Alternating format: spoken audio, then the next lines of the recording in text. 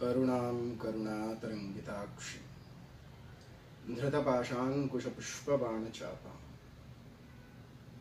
ಅಣಿಮಾದಿಭಿರಾವೃತಾಂ ಮಯೂಖೈ ರಹಮಿತ್ಯೇವ विभावये ಭವ ಪ್ರೀತಿಯ ಪ್ರೇಕ್ಷಕರಿಗೆ ಶಂಕರಾನಂದ ಟಿವಿ ಯೂಟ್ಯೂಬ್ ವಾಹಿನಿಗೆ ಸ್ವಾಗತ, ಸುಸ್ವಾಗತ.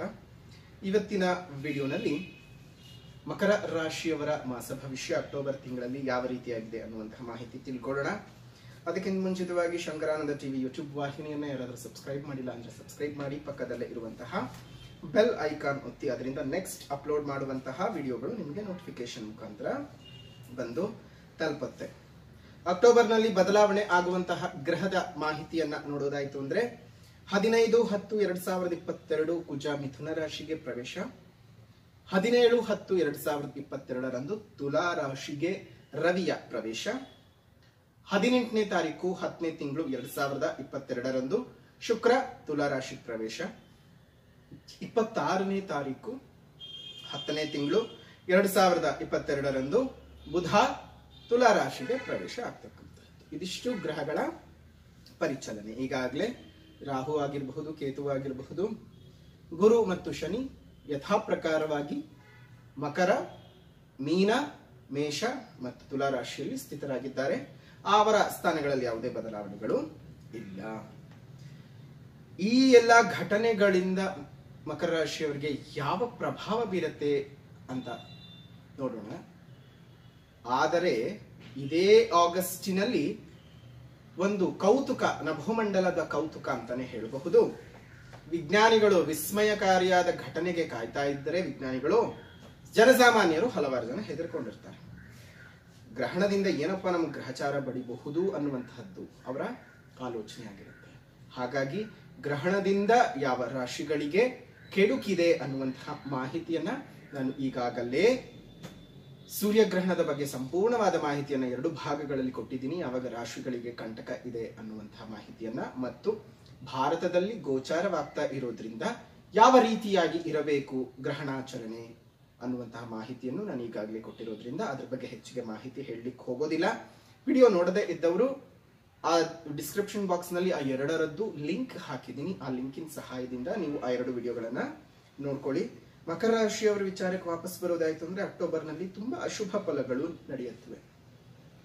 ನಿಮ್ಗೆ ಯಾವುದೇ ರೀತಿಯಾಗಿಯೂ ಮಾನಸಿಕ ಒತ್ತಡಗಳು ಕಡಿಮೆ ಆಗಲಾರದು ಕೆಲಸ ಕಾರ್ಯಗಳಲ್ಲಿ, ಕೆಲಸ ಮಾಡ್ತಕ್ಕಂತಹ ಸ್ಥಳಗಳಲ್ಲಿ ನಿಮಗೆ ನೋವು, ಯಾತನೆ, ಅಪಮಾನ, ಅಪಕೀರ್ತಿಗಳು ಮಾಡದೇ ಇರುವಂತಹ ಕೆಲಸಕ್ಕೆ ನಿಮಗೆ ತೊಂದರೆಗಳು ಬರ್ತಕ್ಕಂತಹದ್ದು ಆಗುತ್ತೆ. ಯಾರಿಗಾದ್ರೂ ನಂಬಿ ನೀವು ಹಣ ಕೊಟ್ಟ ನಿಮ್ಮ ಹಣೆಗೆ ಉಂಡೆ ನಾಮ ಗ್ಯಾರಂಟಿ ಹುಷಾರ್.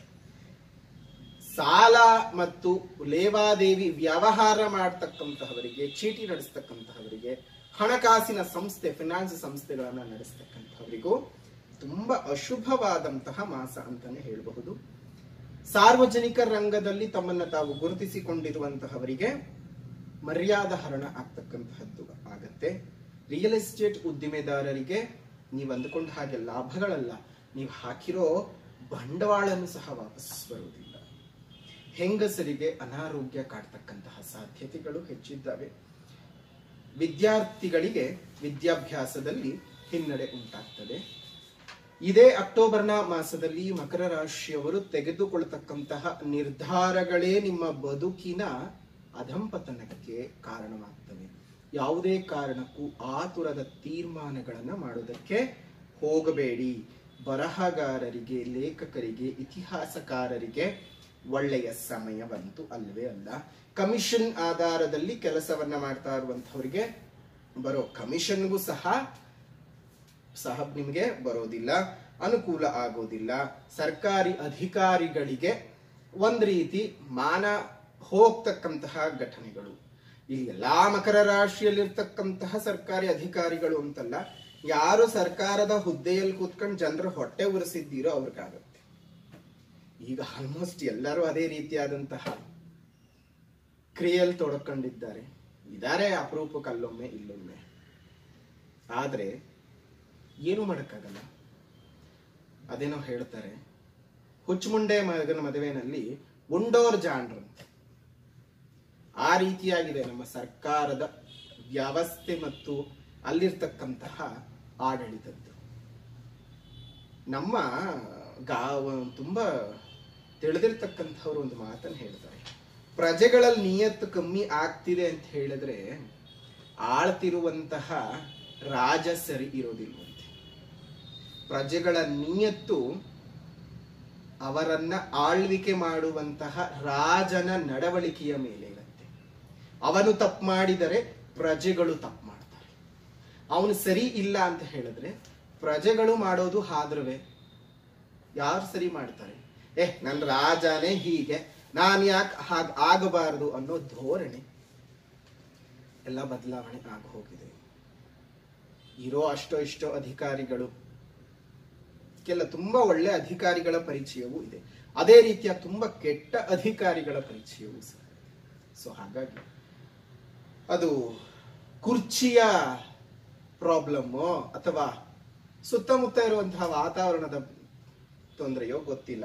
ಈ ರೀತಿಯಾಗಿ ಸರ್ಕಾರದ ಅಧೀನದಲ್ಲಿರ್ತಕ್ಕಂಥವ್ರು, ಸರ್ಕಾರಿ ಉದ್ಯೋಗಿಗಳು ಸ್ವಲ್ಪ ಮಟ್ಟಕ್ಕೆ ಈ ತಿಂಗಳಲ್ಲಿ ನಿಮಗೆ ಕೆಟ್ಟ ಕೆಡಕಾಗ್ತಕ್ಕಂತಹ ಸಾಧ್ಯತೆಗಳಿದ್ದಾವೆ. ಹುಷಾರು, ಯಾವುದೇ ಕಾರಣಕ್ಕೂ ಬೇ ಲಂಚಗಳನ್ನೆಲ್ಲ ಅಧಿಕವಾಗಿ ತಗೊಂಡು ಪ್ರಜೆಗಳನ್ನೆಲ್ಲ ಹಿಂಸೆ ಮಾಡಕ್ಕೆ ಹೋಗ್ಬೇಡಿ. ಹುಷಾರು ಹುಷಾರು.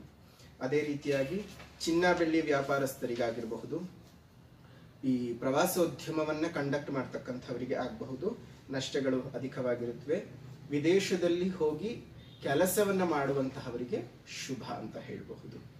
ನಿಮಗೆ ಈ ಮಾಸದಲ್ಲಿ ಕಾಡತಕ್ಕಂತಹ ಯಾತನೆ ಏನಾದರೂ ಬರಬಹುದು ಅನಾರೋಗ್ಯ ಅಂತಂದ್ರೆ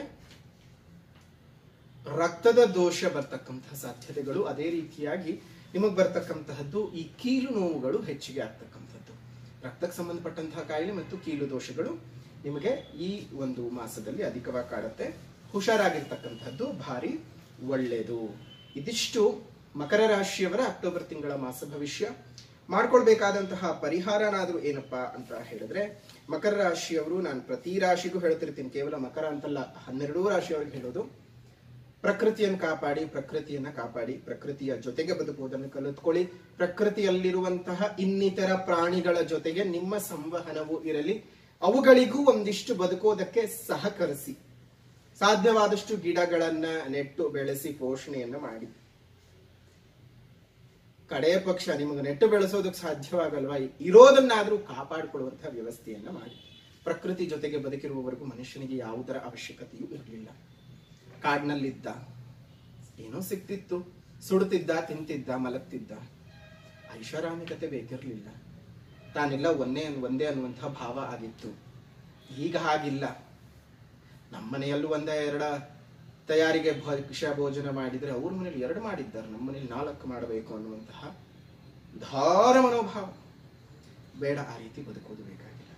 ಎಲ್ಲರೊಟ್ಟಿಗೂ ಸಹಕರಿಸಿ, ಎಲ್ಲರಿಗೂ ಸರಿ ಹೊಂದಿಕೊಂಡು ಬದುಕಿ ಅಂತ ಹೇಳ್ತಾ ಈ ಒಂದು ಅಕ್ಟೋಬರ್ನ ಮಾಸದಲ್ಲಿ ಗುರು ದಕ್ಷಿಣಾಮೂರ್ತಿಯ ಪೂಜೆ, ಗುರು ದಕ್ಷಿಣಾಮೂರ್ತಿಯ ಆರಾಧನೆ, ಸ್ತೋತ್ರ ಪಠಣ ಮಾಡ್ಕೊಂಡು ಬನ್ನಿ. ನಿಮ್ಮೆಲ್ಲರಿಗೂ ಸಹ ಗುರು ದಕ್ಷಿಣಾಮೂರ್ತಿಯವರು ಒಳ್ಳೆಯದನ್ನು ಮಾಡಲಿ, ಒಳ್ಳೆಯದನ್ನು ಕರುಣಿಸಲಿ ಅಂತ ಪ್ರಾರ್ಥನೆಯನ್ನು ಮಾಡ್ತಾ ಅಕ್ಟೋಬರ್ ತಿಂಗಳ ಮಕರ ರಾಶಿಯವರ ಮಾಸ ಭವಿಷ್ಯವನ್ನ ಇಲ್ಲಿಗೆ ಮುಕ್ತಾಯ ಮಾಡೋಣ.